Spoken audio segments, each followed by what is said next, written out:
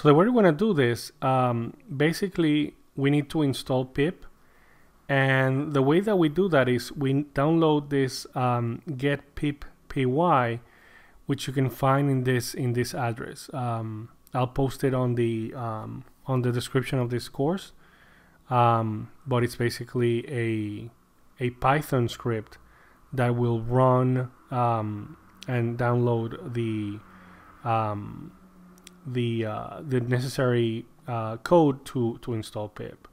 So I right click on it and I'm gonna save target as okay, and I'm gonna save it. Um, let's do it on the Python directory.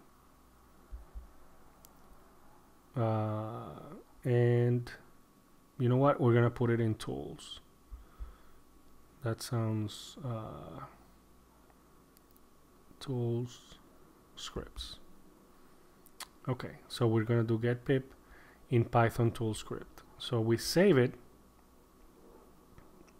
perfect and now we're gonna go to uh, tools scripts okay and we're gonna do python get pip py.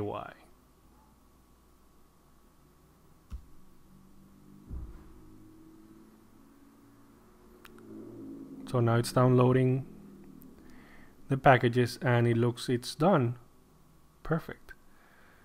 So now that we have um, that we have uh, pip installed we're gonna we're gonna install virtualenv okay so now we go to the python 2.7 directory and we'll notice that now there's a scripts directory there so if I go to scripts, I'll see that pip is there. So now we're going to install our first package, which is virtualenv through um, through pip, and let's see what happens here. Perfect. Now I see that I have virtualenv. Um, we need to also add this path to the to the Windows path as we saw earlier. So let's do that. So we're gonna add it from from the history. So I think we have it here. And I'm gonna do set path equals like we did percentage path semicolon C. But in this case, I'm gonna do Python 2.7 scripts.